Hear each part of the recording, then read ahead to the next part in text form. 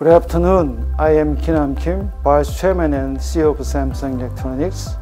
I also serve as Chairman of the National Academy of Engineering of Korea, and it is a great honor to welcome all of you to KEICH 2020 today here in Korea.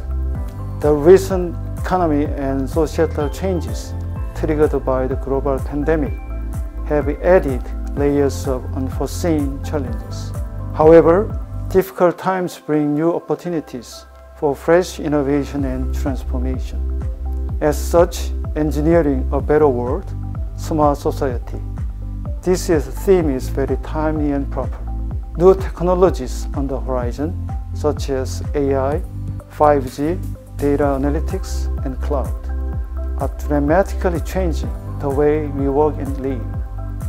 This is just the beginning of many great things to with opportunities to fully unfold. I trust that today our event, KEICH 2020, which connects the best and brightest minds globally, will serve as a venue to find the right solutions and well-directed paths forward. Thank you, and I wish you and your loved ones health and safety Please enjoy the event. Ladies and gentlemen, as the President of the National Academy of Engineering of Korea, it is my great pleasure to welcome to KEICH 2020.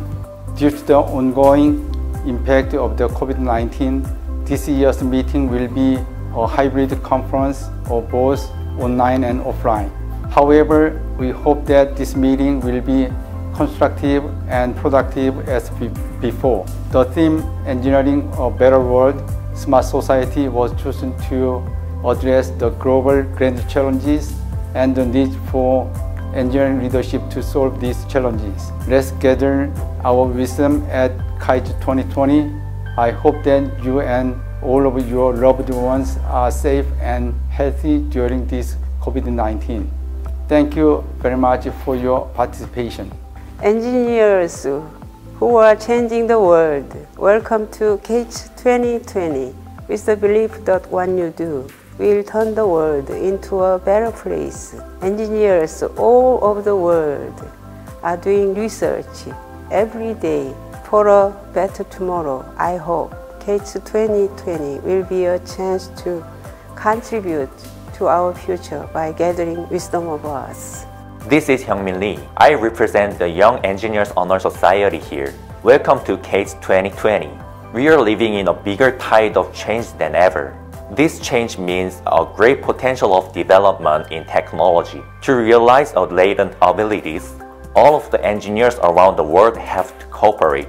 CASE 2020 will be a great departure for the better future. I like welcome everyone while announcing engineering is everywhere. Engineering and technological science makes our lives richer and convenient. Even in this harsh condition with COVID-19, engineering is everywhere. Engineers and scientists from many cities around the world are participating in this KEICH 2020 Seoul in Korea. I confirmly believe that we can combine this KEICH 2020 Seoul in Korea more successfully than any previous KEICH annual conference. I sincerely hope you all enjoy the KEICH 2020 Seoul in Korea. Hello, everybody. We welcome you all to the KEICH 2020 Symposium. KEICH, founded in 1978, is an international engineering co op composed of engineering academies of 30 different countries. The National Academy of Engineering of Korea has been a member of KEICH since 2000 and is now hosting its first KEICH 2020 Symposium as the chair for this year. My name is Young and Yang, and I'll be the MC for the next two days. It's a great pleasure to be connected to all those attending, both on and offline. KEICH 2020 is composed of a symposium and a general meeting. It started with a committee meeting yesterday, leading to today's and tomorrow's symposium, and concluding with a general meeting on the 15th. As today begins the second day of KEICH 2020, the symposium will take place. Today's program starts with an opening speech by NAIC Chairman Oh Kyung-kwan, followed by address by South Korea's Prime Minister Se-gyun Jang. Afterwards, the keynote speech will be given by KDCA Commissioner Jung Eun-kyung. Then two panel sessions will commence. At the end of each session, there will be two IR pitches from selected startups. The CASE 2020 symposium is and will be live streamed on YouTube. So if you have any questions during the session, please feel free to leave them in the YouTube chat. First, we will have the opening speech by the sixth chairman of NAIC, Mr. Oh Kyung-kwan. Please join me in welcoming him to the stage.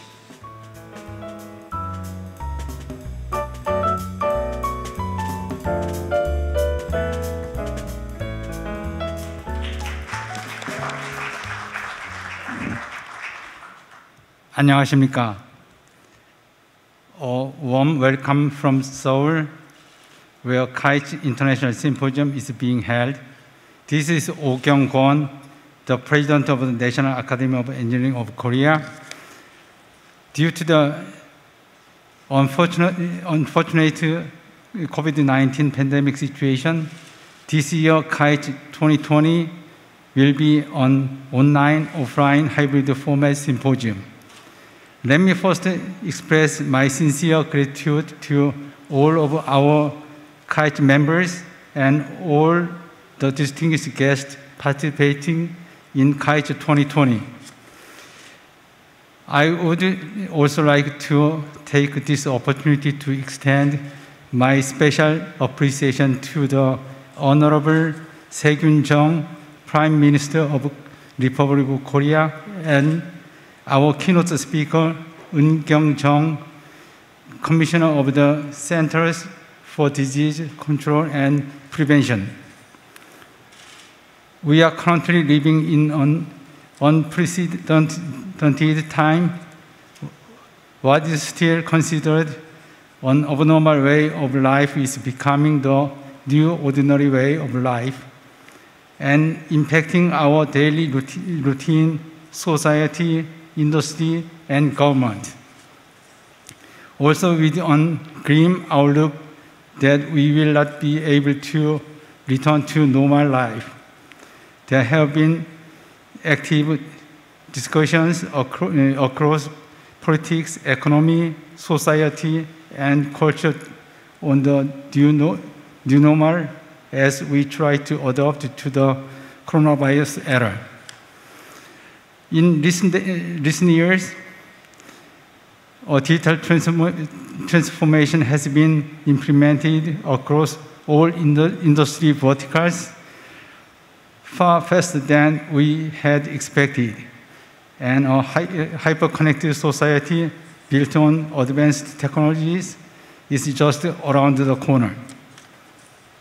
As we have faced the harsh realities of this pandemic, we, the, the world has, has become to realize that international cooperation is more important than ever.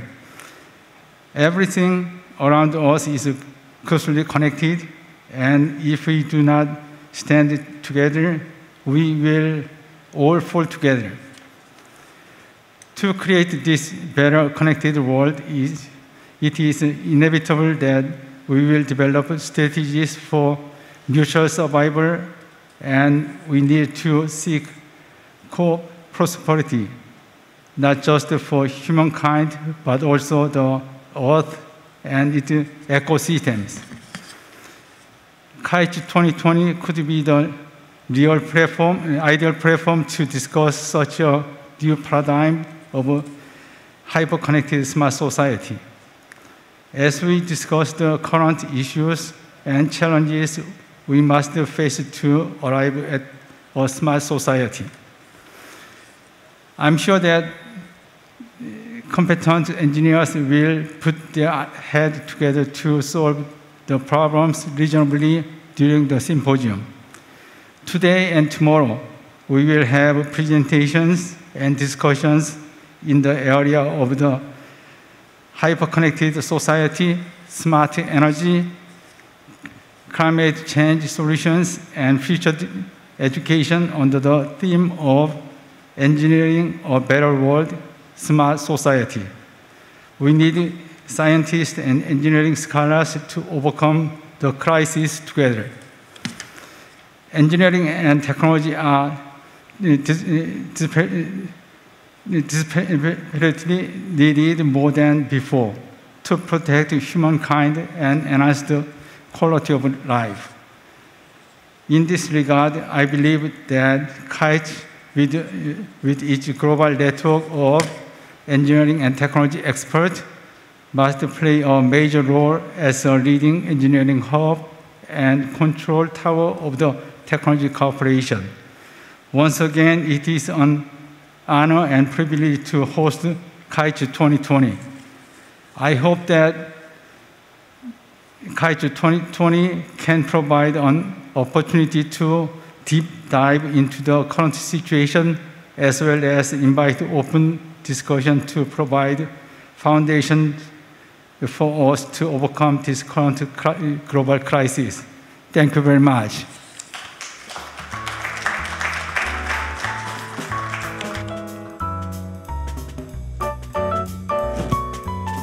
Thank you very much for your great opening address. That was the opening address by the chairman, um, Oh Kyung-kwan.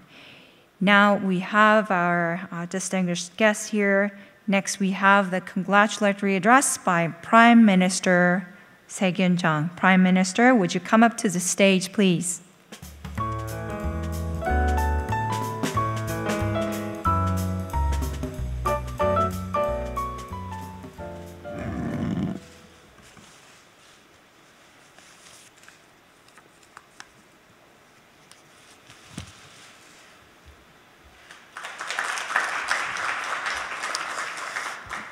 존경하는 내외 귀빈 여러분, 온라인을 통해 함께하고 계신 세계의 석학 여러분 반갑습니다.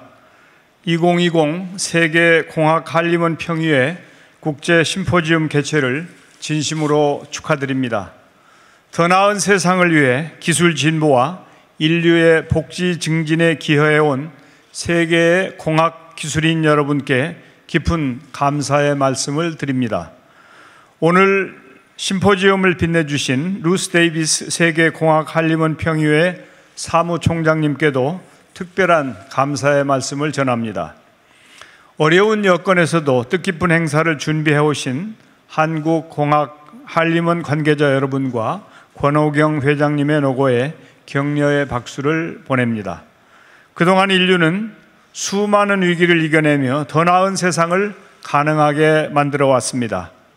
지금 우리 앞에 닥친 코로나19의 시련도 인류의 위대한 지성으로 반드시 극복해낼 것으로 믿어 의심치 않습니다. 대한민국은 국민 모두가 한 마음으로 합심하여 국가적 위기를 훌륭히 대처해 왔습니다. 국민의 협력과 인내, 의료진의 헌신, 진단검사와 기술의 조합을 통해 대규모 사회 통제 없이 효과적으로 추가 확산을 방지할 수 있었습니다. K-방역이라는 신조어가 생길 만큼 한국의 노력이 평가받고 있습니다. 마이크로소프트 창업자인 빌 게이츠는 한국을 방역 선진국으로 손꼽으며 보건과 경제 사이에서도 균형을 잘 잡은 국가라고 언급한 바 있습니다. 이러한 바탕에는 공학기술인 여러분의 기여가 컸습니다. 고성능 컴퓨터, 인공지능, 빅데이터로 대표되는 첨단 기술은 코로나 확산을 막는 기술 방패의 역할을 충실히 수행해 왔습니다. 개인의 위치 정보 데이터를 분석해 역학조사를 신속하고 정밀하게 할 수 있었습니다. GIS를 활용해 코로나 종합 상황 지도를 만들 수 있었습니다. 최첨단 ICT 기술은 원격 근무와 온라인 교육을 가능하게 했습니다. 최근에는 한국의 공학 기술인들이 중심이 돼 세계 공학관리원 평의회 내에 코로나19 대응 특별위원회를 구성했다는 점도 높이 평가하고 싶습니다. 코로나 극복을 위한 공학 기술인의 헌신과 노력에 큰 박수를 보냅니다. 앞으로도 한국 정부는 K 방역 성공의 경험과 지혜를 국제사회와 지속적으로 공유하겠습니다. 그리고 전 세계가 코로나19 위기를 극복하고 더 나은 회복으로 나아가는데 적극적으로 함께 하겠다는 약속을 드립니다. 존경하는 공학 기술인 여러분, 코로나19는 전 세계의 물질 우선주의와 성장 만능주의의 경종을 울렸습니다.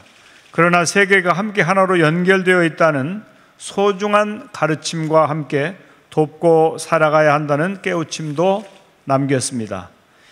이제 코로나19 이후 새로운 세계 질서와 성숙한 세계 시민의식이 만들어질 것입니다. 저는 새롭게 재편될 세계 질서에서 공학 기술이 그 중심에 서리라 확신합니다. 인류 역사에서 공학 기술은 세계가 직면한 과제를 해결하는 열쇠였습니다. 21세기 최대의 위기라 불리는 코로나19를 이겨내며 그 사실이 또 한 번 증명될 것입니다. 이번 심포지엄이 그 새로운 역사를 여는 출발점이 되길 기대합니다. 오늘 참석해 주신 여러분, 그리고 온라인으로 함께하고 계신 모든 세계 공학인 여러분은 인류의 영웅입니다. 여러분의 영웅적 서사는 앞으로도 계속되리라 믿습니다. 세계 공학 한림원 평의회의 무궁한 발전을 기원하며 회원 국가들의 안녕과 평화를 기원합니다. 감사합니다.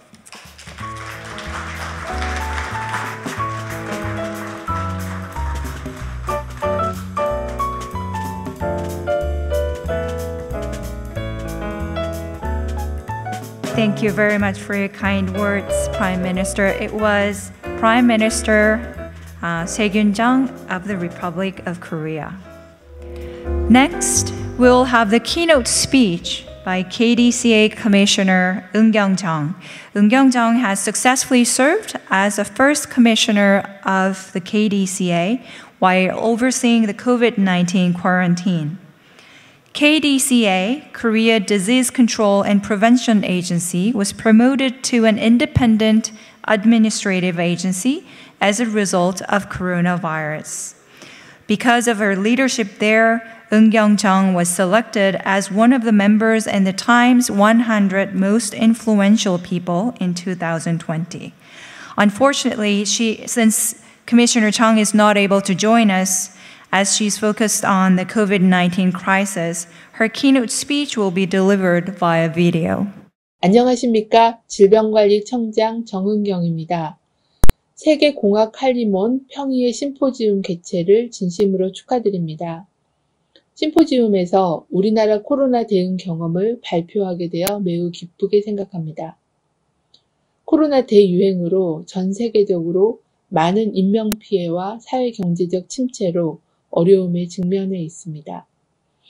이번 심포지움을 통해 코로나19 위기를 극복할 수 있는 많은 해결책이 제시되고 공유될 수 있기를 기대합니다. 먼저 코로나 발생 현황을 말씀드리겠습니다. 전 세계적인 대유행이 지속되는 가운데 우리나라는 10월 1일 기준으로 2만 4천여 명의 환자와 415명의 사망자가 발생하였습니다. 인구 10만 명당 발생률과 사망률을 보면 중국보다는 높지만 다른 주요 선진국과 비교하면 상대적으로는 양호한 상황입니다. 이는 코로나 유행 초기에 강력한 방역 통제를 통해 지역사회로 광범위하게 확산되는 것을 차단한 것이 주요하였다고 생각합니다. 우리나라의 대응 경과를 간략히 설명드리겠습니다. 1월 20일에 중국인 여행객이 공항 검역에서 최초로 확진되고 유행 초기에는 해외 유입 사례가 주로 발생하였습니다. 하지만 2, 3월에 대구 경북 지역에서 특정 종교 집단을 중심으로 한 폭발적인 1차 유행이 발생하였습니다. 감염병 위기경보 단계를 최고 단계인 심각 단계로 격상하면서 범정부 총력 대응 체계로 전환하여 대응하였습니다. 국민들의 적극적인 사회적 거리두기를 참여해 주시고 신속한 검사, 확진자와 접촉자 격리 등으로 유행을 통제하였습니다. 5월에는 사회적 거리두기가 완화되면서 수도권 중심으로 클럽, 물류센터 유행이 발생하였고 8월에는 여름 휴가, 긴 장마로 인한 실내 생활의 증가, 종교 행사 및 대규모 집회 등을 통해 유행이 재확산되었으나 현재는 통제하고 있는 상황입니다. 다음은 우리나라 코로나 대응 전략입니다. 우리나라는 건강과 사회 경제적인 피해를 최소화하기 위해 장기적인 유행 억제 전략을 추진 중입니다. 주요 내용은 크게 세 개의 축으로 대응하고 있습니다. 방역 대응으로 유행의 크기를 줄이고 사회적 거리두기로 지역사회 전파를 차단하고 의료 대응으로 치명률을 낮추는 것입니다. 먼저 방역 대응입니다. 해외에서 확진자가 유입되는 것을 차단하기 위해서 입국자 대상으로 코로나 전수검사, 자가격리 등 검역을 시행하고 있습니다. 지역사회 전파를 차단하기 위해서 광범위한 검사를 통해 확진자를 조기에 발견하고 신속한 접촉자 조사와 격리를 시행하고 있습니다. 두 번째는 사회적 거리두기입니다.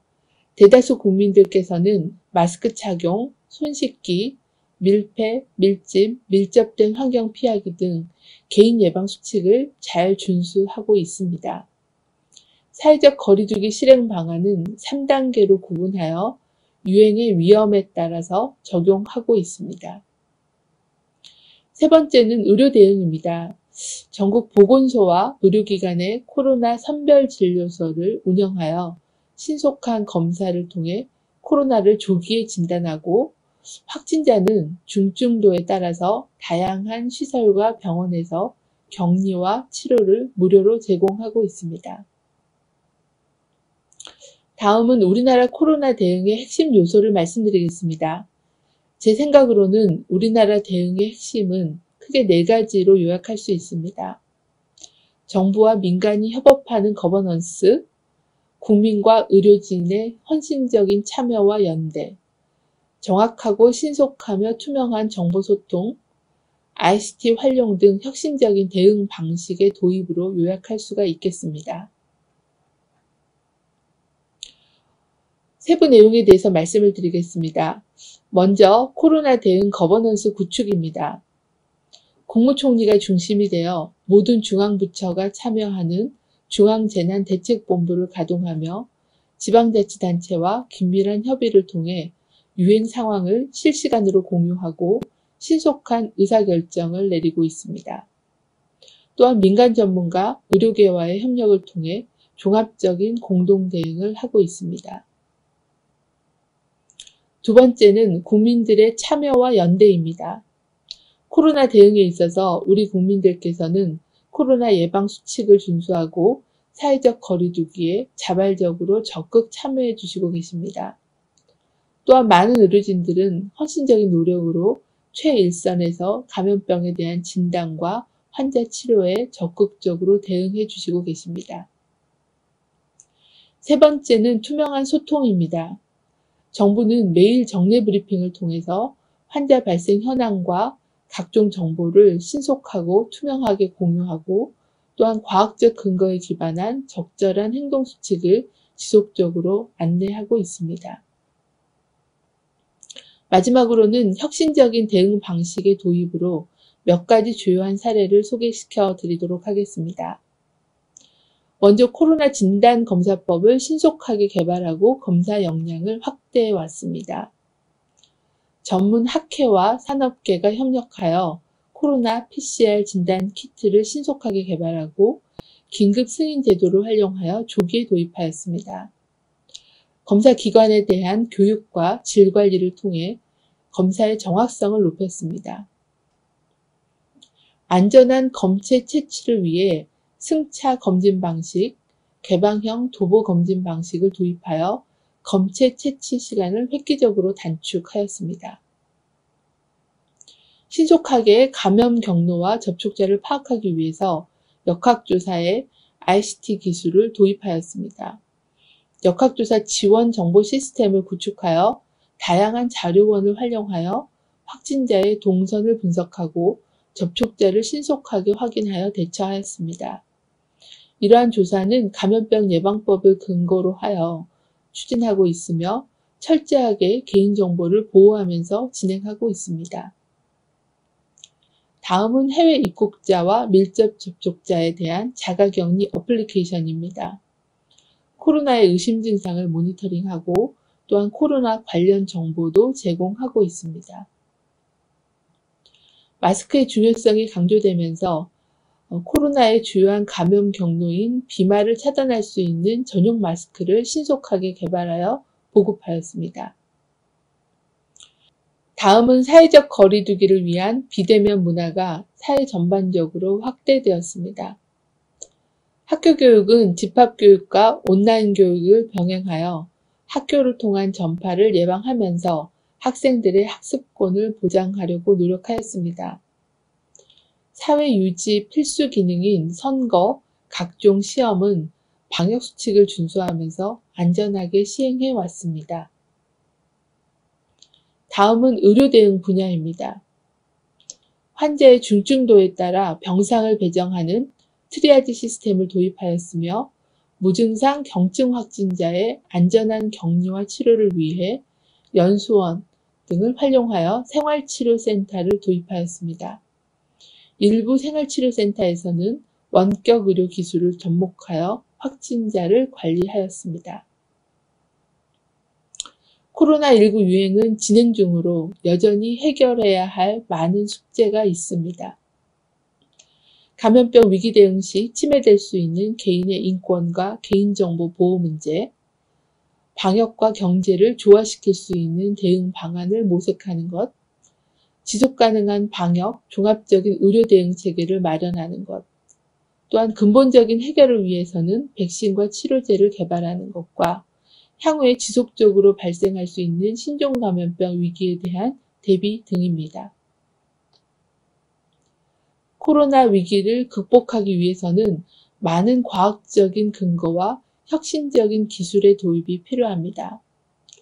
위드 코로나 시대에 함께 고민했으면 하는 방향을 몇 가지 말씀드리겠습니다. 먼저 예측 대응 기술의 향상입니다. 감염병 발생을 예측하고 또 과학적인 역학조사를 위한 빅데이터, AI 기반의 기술 발전이 중요하겠습니다. 또한 코로나가 장기화되면서 코로나와 함께 지속 가능한 일상생활 환경을 만드는 기술 개발도 필요합니다.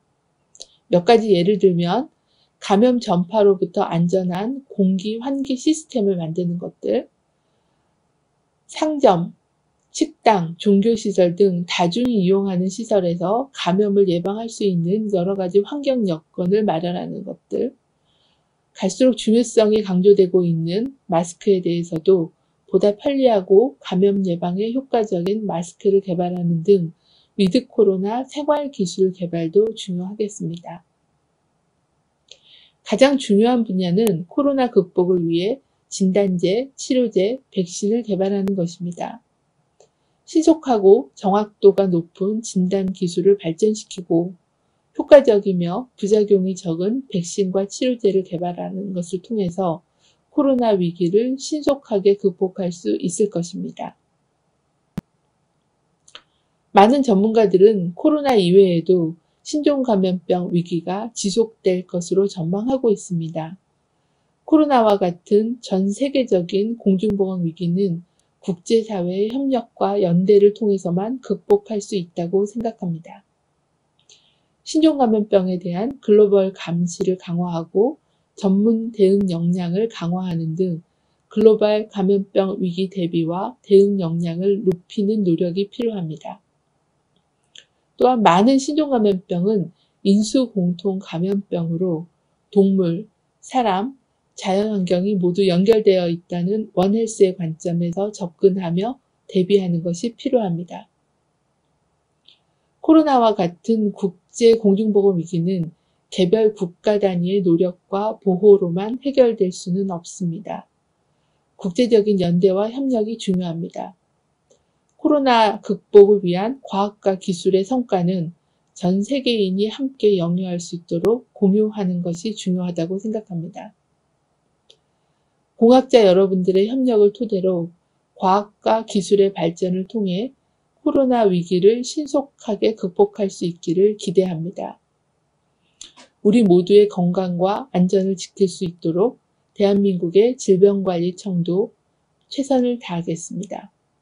감사합니다. Thank you, Commissioner Zhang, for presenting the keynote speech. Um, even though she's not here with us today and she's here just virtually, we, find, we always feel uh, her impact every day.